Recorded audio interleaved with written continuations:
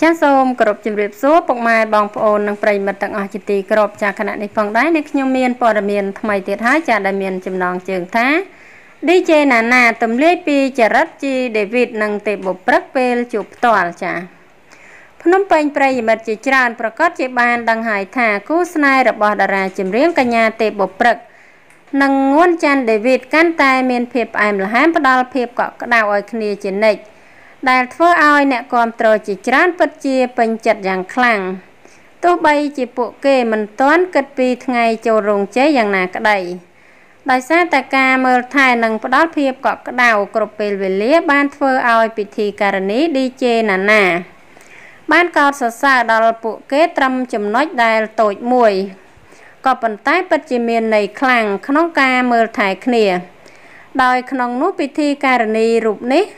បានចាប់អារម្មណ៍ទៅលើតារាប្រុសរូបនេះចេះគិតគូរពីគូស្នេហ៍ទេពបុព្រឹកខ្លាំងក្រោយឃើញនាងច្រៀងចម្រៀងច្រើនបទហត់លោកក៏សុំមីក្រូដើម្បីច្រៀងបន្តដើម្បីឲ្យស្រួលក្នុងការច្រៀងដោយសារតែទង្វើដ៏តូចមួយនេះ បានធ្វើឲ្យ DJ Nana បានធ្វើការលើកយក ប្រធានបទមនុស្សស្រីដែល គេយកធ្វើប្រពន្ធមិនចង់ឲ្យមានជាង ល្បីជាងឬក៏មានចំណេះច្រើនជាងខាងប្រុសដោយ